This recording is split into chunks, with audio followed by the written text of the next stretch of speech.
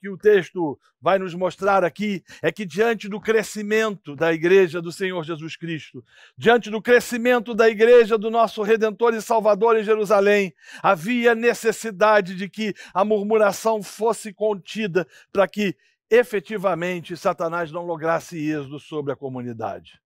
Eles precisavam de homens qualificados, assim como também nós precisamos de homens qualificados em nossas igrejas para apagar aquilo que eu chamo de foco de incêndio na comunidade.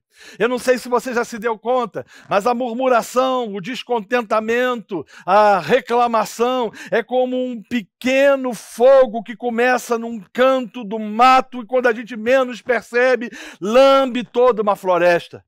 Os apóstolos estavam entendendo de que isso era sério, era muito mais do que um problema insignificante. Havia necessidade de que homens qualificados ajudassem a apagar aquele incêndio e resolvessem o problema da murmuração.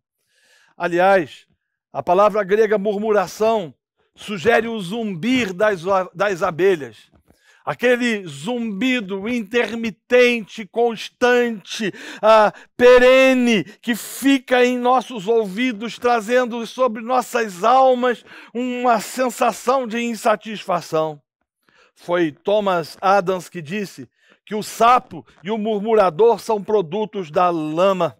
Thomas Brook afirmou que é melhor ser mudo do que murmurar. A murmuração, disse outro, descoroa o homem.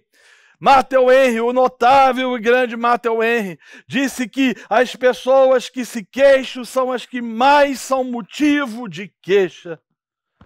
E uma célebre frase de Thomas Watson: nossa murmuração é canção para o diabo.